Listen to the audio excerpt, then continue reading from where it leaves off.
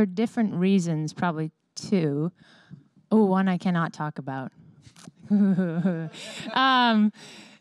can I talk about the other one too? One of them I'll just say, and this is kind of a funny story, um, and this is my little wink at Dave, is I did quite a few takes of um, a scene where I slide down a wall, and I had a vest on.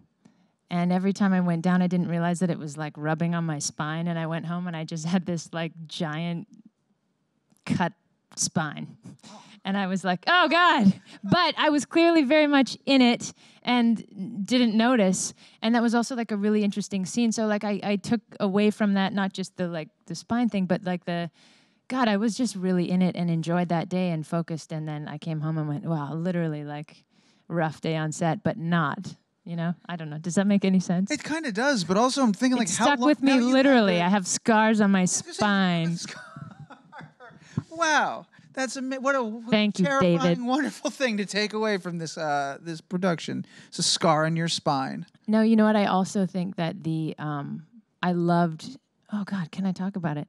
I loved the scene from episode five. There we go. Fair enough. You can put that out yeah, there. for for That's a lot of reasons, it was really it was really um, special.